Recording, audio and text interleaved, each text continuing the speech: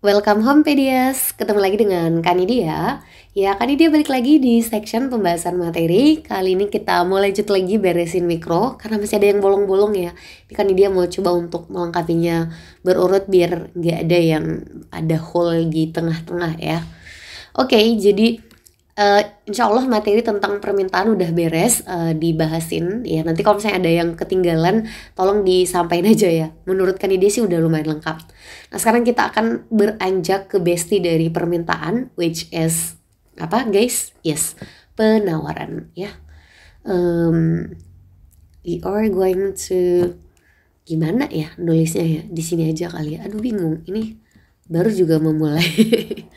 Oke okay, web ini kelihatan ya. Udah jarang nulis di pentep ya. Atau dalam bahasa Inggris kita bilangnya supply ya. Jadi seperti uh, disiplin ilmu pada umumnya ekonomi juga kadang punya bahasa Inggris yang spesifik ya. Bahasa Inggris ekonomi penawaran disebutnya supply dalam ilmu ekonomi. Nah kita mungkin berkenalan dengan memahami dulu apa sih definisi dari penawaran. Apakah saya pernah melakukan penawaran kak. Oke. Okay.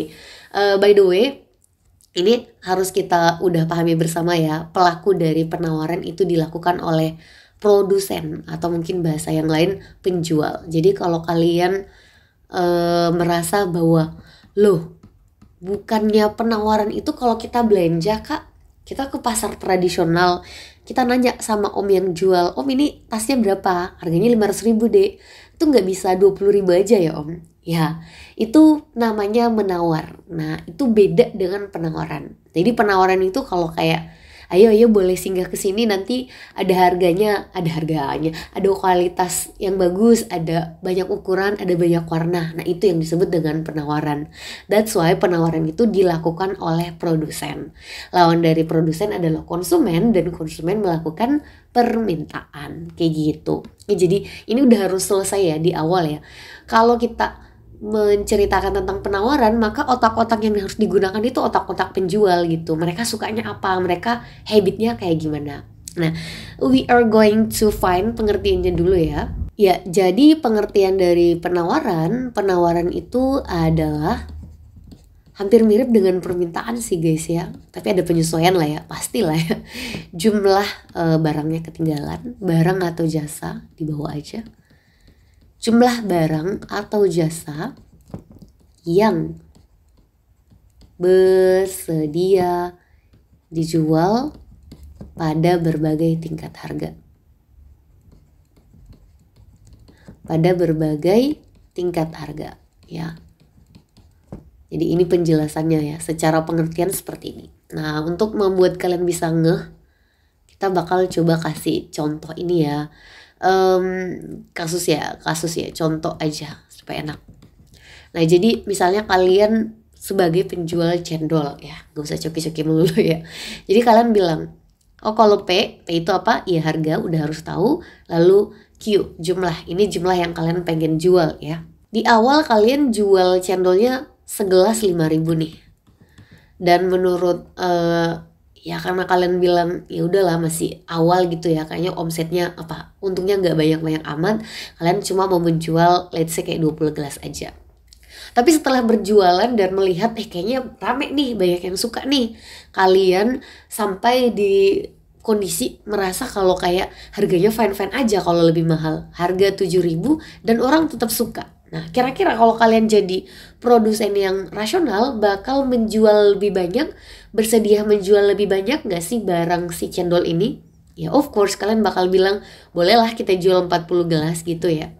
Nah nanti kalau harganya semakin naik, let's say 8000 dan orang tetap fine-fine aja, tetap suka sama cendol kalian, kalian bakal bisa melangkah ke titik yang lebih di atasnya kalian bakal bilang ya udah kita jual kita buat sampai 60 gelas deh. Karena yang suka juga banyak gitu. Nah ini adalah kondisi uh, dari uh, ilustrasi dari penawaran. Yang mana yang disebut penawaran kak? Penawaran itu kan jumlah yang bersedia dijual. Berarti jumlah itu ada 20 ada 40 dan 60 pada berbagai tingkat harga. Nah ini harganya ada tiga. Jadi yang mana yang disebut penawaran? Gabungan dari ketiga ini. Harus tiga-tiganya ya kak minimal dua uh, kondisi ya lebih dari tiga boleh yang penting nggak boleh satu Ini yang disebut penawaran. Memang kalau satu apakah jumlah yang ingin ditawarkan. Beda ya. Kemarin udah akan ide jelasin juga bedanya permintaan dengan jumlah yang ingin diminta. Nah, sama juga dengan si permintaan, penawaran juga itu ada faktor guys yang bisa uh, mempengaruhi seseorang mau melakukan penjualan. Kan kalau kita tanya, misalnya ada yang jualan, "Om, kenapa Om jualan?" Enggak, Dek, cuma mengisi waktu luang aja. Enggak kayaknya ya, atau kayak ya Enggak sih, cuma iseng aja ya nggak mungkin kayak gitu guys ya. Jadi normally mereka bakal ada faktor yang membuat mereka semangat menjual atau kayak malas gitu menjual. Nah ini kita mau find out apa aja faktor yang mempengaruhi supply suatu barang alias penawaran suatu barang atau jasa of course ya. Nah, kita akan mulai dari faktor pertama dan utama C. Ya emang sih yang paling pertama dan utama ini ya. Mungkin kalian udah bisa ngebayangin apa itu? Ya, itu adalah faktor itu adalah harga barang itu sendiri ya harga barang itu sendiri Maksudnya kak apa? Ingat ya, ini harga itu ada banyak. Jadi kalau kita lagi ngomongin kita jualan cendol, maka harga barang itu sendiri artinya harga si cendol. Kan ada harga-harga lain ya kan? Harga uh, gelas di yang dipakai untuk uh, menyajikan cendol, harga mejanya, harga yang lain lah ya, dan seterusnya. Jadi kita ngomongin harga cendol itu sendiri. Dan tadi uh, by the way ini kita bakal simbolkan dengan price of X ya anggap X itu adalah barang itu sendiri.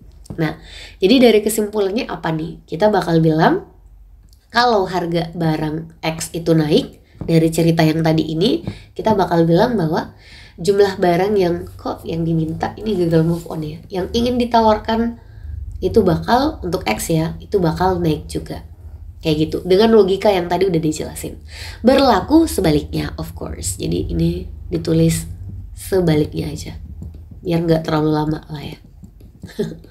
Oke, okay, selanjutnya ada nggak sih harga lain yang berpengaruh kak? Yes, ada ya. Ini sama dengan materi uh, demand kemarin ya. Jadi kita bakal ada namanya harga barang komplementer. Komplementer. Apaan tuh kak harga barang komplementer? Ya kita udah tahu banget lah ya. Komplementer itu artinya adalah barang pelengkap harga pelengkap. Nah, contoh untuk barang komplementer ini, ini dua barang ya, dua barang yang saling melengkapi. Misalnya kita kasih contoh, hmm, kan ini ambil contoh kompor gas dan uh, gas LPG-nya ya. Jadi kompor dan gas dibeli terpisah ya guys. Udah kayak bar biasa, aksesoris dijual terpisah. Oke. Okay. Nah, harga barang komplementer itu uh, kayak gini ceritanya. Misalnya kan dia uh, buat kisahnya harga kompor gasnya kompor gasnya ini uh, mahal gitu ya entah kenapa gitu harga kompor gasnya bakal menjadi sangat mahal nah kira-kira pakai logika aja kalau misalnya harga kompornya itu semakin mahal banyak gak sih yang beli kompor gasnya Enggak kan? Nah, berkuranglah pembelian kompor gas. Lalu akibatnya apa? Kita yang menjual gas LPG, let's say kayak gitu, dan ini untuk penggunaan kompor, itu bakal semangat gak sih menjual gasnya ya kita bakal bilang aduh kayaknya berkurang deh yang kita jual. Soalnya kan kompor yang menggunakan gas ini sekarang udah makin mahal. Udah nggak ada lagi yang mau pakai kompor gas orang pakai kompor listrik misalnya kayak gitu. Jadi di sini bakal berkurang. Nah ini berlaku sebaliknya ya kalau kondisinya uh, terjadi perubahan. Jadi kita bisa bilang oh harga barang lain itu dalam hal ini barang komplementer sangat berpengaruh terhadap supply dari suatu barang gitu. Nah, kita tahu bahwa kalau di ekonomi ada dua barang yang punya kaitan selain tadi komplementer, dia ada kom, uh, kondisi kedua ya. Kita sebutnya apa, guys? Udah pada tahu lah ya. Ini udah dimention juga kemarin di uh, apa namanya? permintaan soalnya. Ini adalah harga barang ya substitusi atau kalau dalam bahasa lain apa? Substitusi itu aduh sorry ini tulisannya udah semakin tidak sulit terbaca kah? Oke. Okay. Oke, okay, pelengkap. Nah, harga barang substitusi kok pelengkap lagi? Astagfirullah, gagal move on. Ini substitusi mah artinya pengganti vesti. pengganti. Misalnya kalian tiba-tiba uh, berubah jualan barang ya. Di tetangga kalian itu pada jualan apa ya pengganti misalnya kita ambil contoh pulpen pensil aja lah ya. Harga pulpen di sekolahan itu, saya kalian jualan di sekolah ya. Harga pulpen itu semakin mahal ya. Terus gurunya bilang ke siswa, gak apa-apa nak pakai pensil juga oke-oke aja. Nah, kira-kira kalau kalian e, menjadi penjual pensil, nih ya, rival kalian si pulpen makin mahal. Banyak nggak yang beli pulpen? Pasti berkurang kan? Nah kalian yang jadi pen penjual pensil bahagia nggak? Ya bahagia banget pastinya. Yes, bakal banyak yang main ke toko saya nih, ke warung saya nih. Nah makanya kalian bakal bilang yang mau saya jual, jumlah pensil yang mau saya jual saya mau naikkan deh karena lagi banyak nih kayaknya oh potensinya gitu. Ini berlaku sebaliknya ya kalau harganya barang substitusi turun ya jumlah yang kita mau jual juga turun untuk substitusinya. Jadi ingat ya guys, kalau untuk barang substitusi dan komplementer yang tadi kita bahas, ini selalu menceritakan dua barang yang berbeda. Selanjutnya, apalagi faktor yang mempengaruhi penawaran suatu barang. Nah, ini masih ada lagi harga guys. Nah, uh, tapi ini harga apa? Ya, harga input. Atau dalam bahasa lain, input kadang kita sebut kalau di ekonomi adalah yes, faktor produksi. Apaan kak faktor produksi itu? Faktor produksi kayaknya kan ini udah pernah bahas, pernah lah ya. Itu adalah semua hal yang dibutuhkan untuk memproduksi suatu barang atau jasa. Misalnya kita tiba-tiba usaha ini ya jual roti. Apa faktor produksinya? Ya si tepung itu pastinya salah satunya. Nah sekarang kalau misalnya harga tepung yang merupakan bahan utama untuk pembuatan roti itu lagi mahal gitu ya. Kira-kira kalian sebagai penjual roti itu bakal banyak mau ngejual roti atau sedikit yang di, bersedia dijual. Ya kalian pasti bakal bilang gak kak berkurang soalnya ya harga modalnya ya. Mungkin istilah kita modalnya banyak banget membengkak banget. Nah itu yang dimaksud dengan harga input. Dan ini pasti sangat relate buat orang-orang yang ya berperilaku sebagai produsen jadi untuk bisa memahami konsep penawaran tadi tipsnya adalah pasang kotak-kotak produsen penjual gitu ya karena karena akan lebih mudah untuk dipahami. Ya, next apalagi yang mempengaruhi Kak? Ya, ada lagi yang kita sebut sebagai biaya produksi. Nah, untuk membuat barang kan pasti kita perlu mengeluarkan biaya, ada pengeluaran uh, di perusahaan. Nah, kalau misalnya kalian merasa bahwa si kosnya atau biayanya itu semakin tinggi, semakin mahal nih. Kira-kira kalian semangat gak sih menjual barang itu? Ya kalian bakal bilang, wah enggak deh kayaknya berkurang dulu kak soalnya biayanya mahal banget, bengkak banget biaya yang keluar. Jadi ini akan membuat ya kalian bakal berpikir ulang nih untuk produksi banyak kalau biayanya terlalu besar gitu. Apalagi faktor yang mempengaruhi, faktor selanjutnya adalah teknologi. Nah, ini disingkat uh, teh aja ya kayak gini aja. Teknologi gimana lagi tuh kak konsepnya? Ya semakin canggih teknologi atau teknologi yang semakin membaik itu membuat kita semakin semangat gak sih menawarkan suatu barang? Ya pasti. Jadi misalnya kayak kita tetap jualan roti, tapi sekarang udah pakai mesin yang bahannya cukup satu kali doang dituang, udah simsalabim jadi gitu, udah sampai siap makan gitu ya canggih banget alatnya ya tapi kurang lebih kayak gitu semakin canggih teknologinya maka jumlah barang yang ingin ditawarkan akan semakin banyak gitu. Berlaku sebaliknya. Oke, satu lagi. Ini kan diambil yang contoh umum-umum aja ya. Mungkin di luar sana masih ada yang lain. Gak apa-apa sih ya, karena memang mungkin ada banyak kondisi yang bisa berpengaruh. Last one itu adalah jumlah produsen. Jumlah produsen ya atau produser dari itunya ya. E, barang itu ya. Jadi kalau misalnya kita bilang Jumlah penjualnya banyak, produsennya banyak, produsen coki-cokinya banyak. Kira-kira jumlah coki-coki yang bakal ditawarkan di pasaran banyak atau sedikit? Ya pasti tambah banyak karena yang jualan juga banyak. Ya sesimpel itu aja gitu. Ya, itu faktor-faktor beberapa yang mempengaruhi penawaran sama dengan permintaan kemarin ini bisa dibuat simple aja dalam satu baris jadi Q supply for barang X itu dipengaruhi oleh beberapa faktor. First of all tadi harga X. Jadi kita bilang harga X dan harga X itu korelasinya apa? Ya berbanding positif ya. Kalau naik naik. Jadi ini kasih tanda plus. Next apalagi harga komplementer. Ini disebutnya PC ya. Kan ini dia simbol PC, price of complementary goods. Jadi PC. Nah, tadi kalau kita lihat korelasinya satu naik satu turun berarti korelasinya ya mereka berbanding negatif terbalik gitu ya.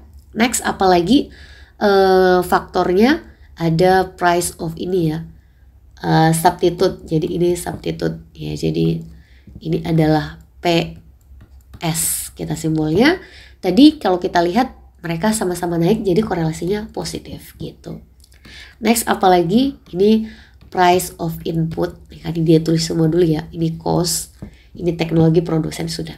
Jadi kalau price of input dia korelasinya ya berbanding negatif. Satu naik satu turun.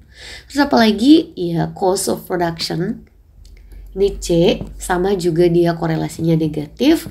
Terus apalagi ya ada teknologi uh, teknologi dia berbanding positif kalau dilihat dari cerita yang tadi. Eh warnanya salah. Positif and last one adalah produser berapa jumlah produsennya. Uh -uh, dan dia juga berbanding positif.